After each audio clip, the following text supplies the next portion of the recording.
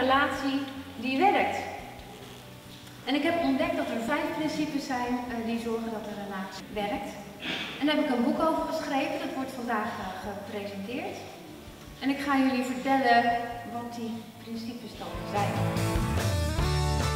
Nou, de uitnodiging aan jullie is om even contact te maken, dat namelijk een interactieve presentatie. Om even contact te maken met eh, iemand in de zaal die dichtbij zit.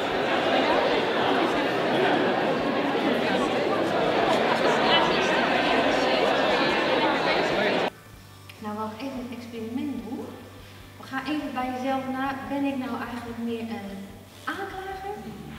Of hè, meer geneigd tot aanklager? Of ben ik meer een terugtrekker?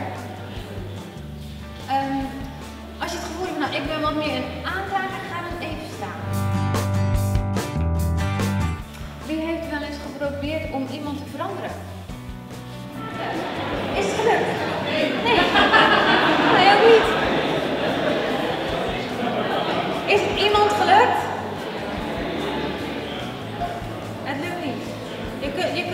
een ander is anders. En dat meisje, dus het andere meisje gaat erachter staan. Ja, maar. En doet het meisje wat valt. Ja. Nou, inderdaad. Dat is schrikken.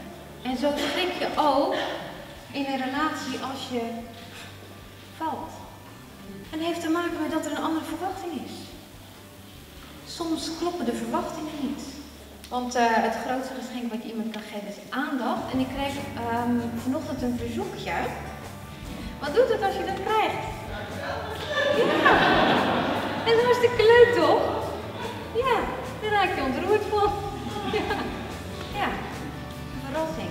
Nou ja, dat is iets geven, een verrassing weggeven. Ah, dat is leuk. Uh, geven maakt gelukkig.